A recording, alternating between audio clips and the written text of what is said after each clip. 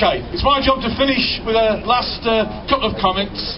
A number of speakers have referred to the fact that this is the largest amount of cuts put on working class people and our families for generations. Some 81 billion pounds of cuts in welfare, which is going to affect those uh, claiming incapacity and disability benefits, those claiming housing uh, benefits, those claiming unemployment benefits, and those who currently provide the services for those benefits claims.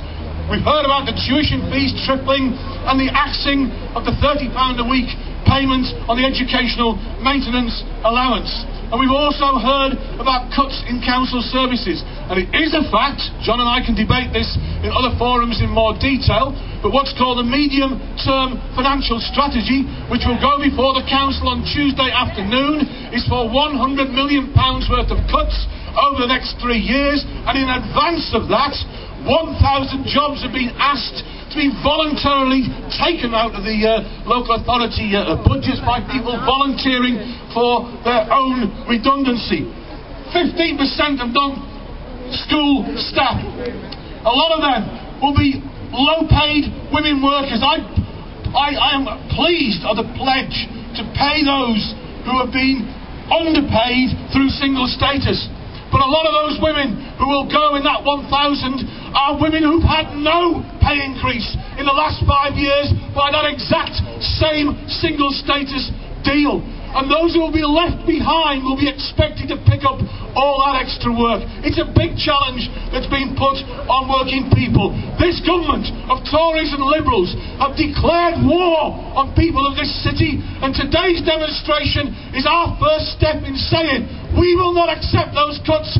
We're preparing the fight back. Thank you very much for coming. The second point a lot of people have made is it isn't our fault. The economic crisis has been caused by the inherent instabilities in capitalism triggered by the action of the banks. The banks are getting back to business as usual. The high street banks in this city and elsewhere declared £15 billion of profit in August, half of which they're giving bonuses to their directors and major shareholders. Lloyds Bank was mentioned. 43% owned by the taxpayer. Did a deal to bring a Spanish new chief executive over for a £50 million package. Northern Rock, another one rescued by the government. A lad from Hillfields runs Northern Rock. He was going to get half a million pounds for six months garden leave sitting down before his next banking job. And then we got the Royal Bank of Scotland. 45 billion pounds of your money put in to rescue that bank. 83% owned by the taxpayer, and yet they've declared for 17,000 market traders, precisely the same people who got us in this mess in the first place, they get 1.3 billion pounds worth of Christmas bonuses. We not only need to nationalise the banks, we need to put those banks under the control after restructuring of ordinary working people so they get back to the jobs of lending us money for mortgages and keeping our businesses going, not engaging in speculation and gambling and bringing the economy to its knees. Two points to finish with. I think we can beat the Tories and Liberals. 20 years ago, they told us that the strongest Tory Prime Minister in generations had made a law called the poll tax, and it could not be gainsaid, it could not be challenged.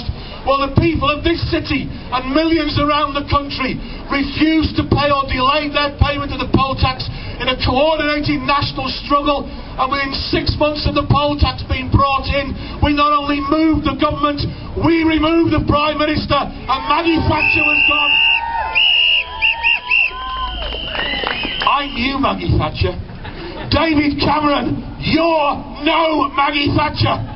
Hey! But I've heard the anger of a number of speakers. I've heard the fact that battles are inevitable, and they are. Resistance is inevitable, and it is. But rage is not going to be enough to get us through this battle.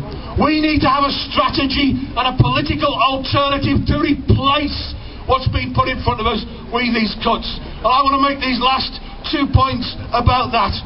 Firstly, we've been here before. Two, or was it three? Two recessions ago.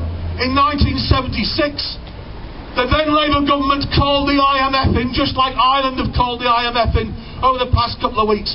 And they told us we had to make cuts in hospitals, in education, in welfare, in housing, and in council spending. We had a council leader in Coventry called Arthur Waugh Sr., one of the longest serving Labour councillors in this city.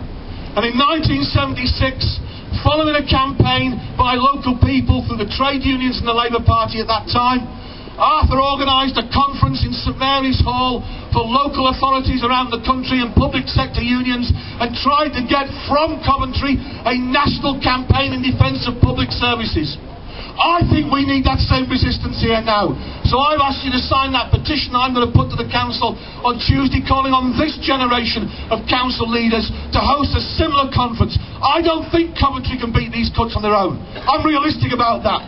But if all the local authorities got together with the trade unions, we could start to push the council back. And while they're doing that, and this is where I do have a difference with John, I don't think we should be raiding the reserves of the council in order to fund a 1,000 strong redundancy programme. I think we should be using the borrowing powers and the reserves of this authority to buy us time to get this campaign up and running so that no jobs have to be lost, so that no services have to be lost. And my last point is this, because you've been very generous in letting me have this last few minutes. What do we do if that doesn't work? What do we do on February the 15th when the budget report comes forward?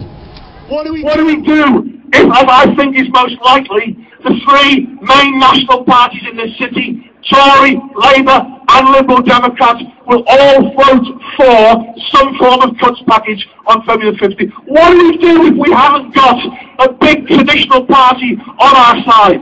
Well, what did the people at Kidderminster do 10 years ago when they were taking their hospital off them? When they were going to build a private hospital that they couldn't use like they used the NHS in the past. And they couldn't get any support from the main three parties. They started one of their own. The Golden Health Concern. It won two general elections with Dr. Richard Taylor becoming the MP and they won 16 councillors.